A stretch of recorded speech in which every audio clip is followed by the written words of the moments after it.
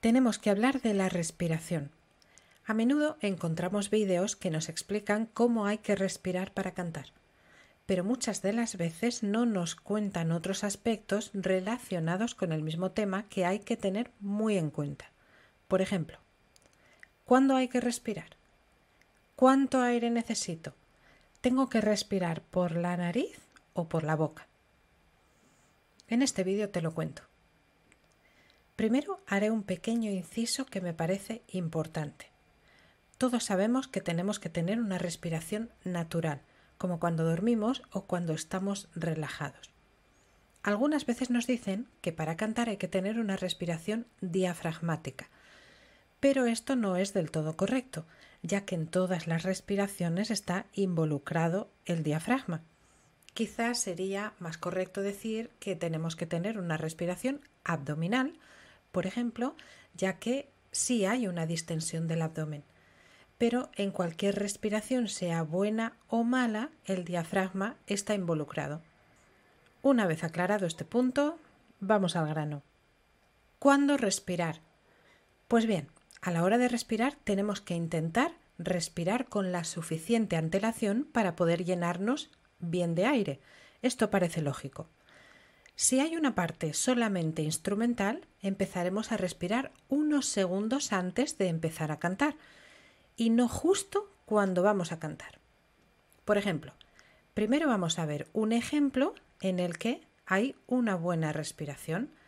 No escucharemos cuando se respira y la persona que canta está relajada cantando.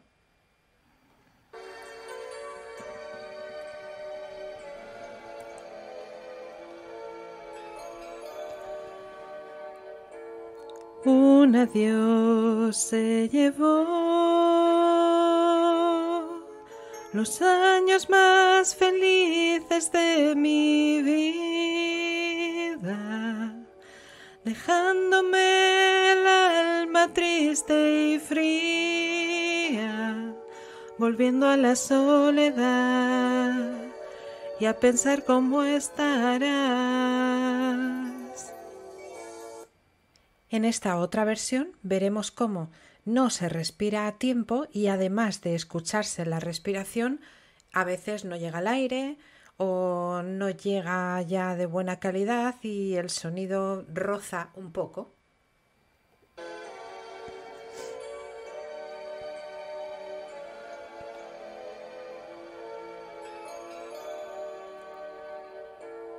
Un adiós se llevó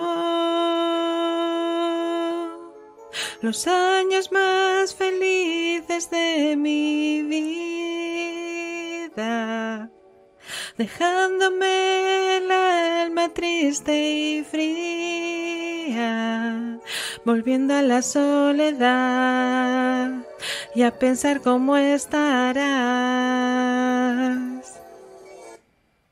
Vamos a ver otro ejemplo. En esta ocasión la canción es bastante más rápida. ¿Qué haremos entonces a la hora de respirar? Pues bien, en las frases tenemos que entrar a tiempo, con lo cual, en caso de tener que cortar de algún sitio para respirar, quitaremos tiempo a la frase anterior y no a la frase que vamos a cantar a continuación. Por ejemplo, en esta primera parte vemos cómo no se escucha la respiración y la persona que canta está relajada y tranquila cantando a pesar de ser una canción un poco más rápida.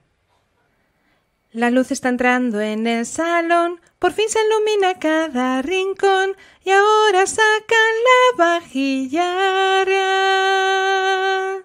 Por estos salones de ambule, sola vagué una y otra vez, por fin las puertas se abrirán.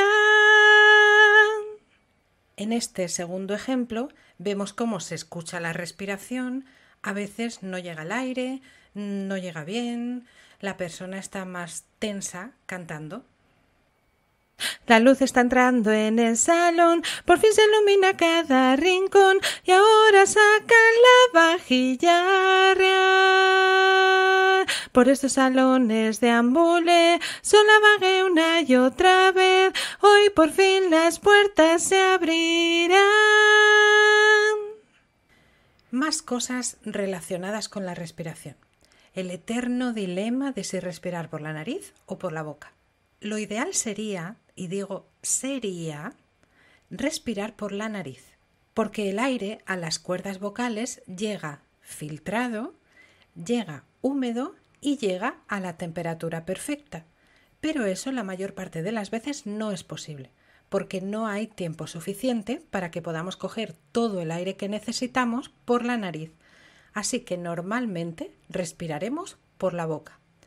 Sin embargo, si hay una parte instrumental y tenemos tiempo suficiente, podemos aprovechar para respirar por la nariz. En caso contrario, siempre respiraremos por la boca. ¿Cuánto aire tenemos que coger? Siempre tenemos que tener más aire del que vamos a necesitar, porque cuando estamos llegando al final del aire que nos queda, la calidad del sonido ya no es la misma. Nos quedamos sin aire, con lo cual es posible que empiece a haber roces en la voz, que desafinemos incluso o que nos pase cualquier otra cosa. Así que siempre tenemos que tener más aire del que vamos a necesitar en esa frase. De momento, esto es todo. Continuaremos ampliando este tema de la respiración que da para mucho.